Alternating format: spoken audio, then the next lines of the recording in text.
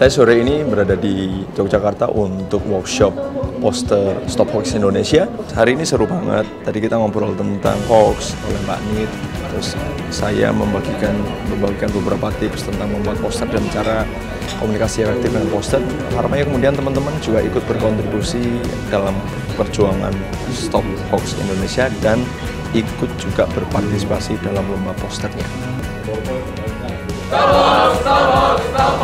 Hoax,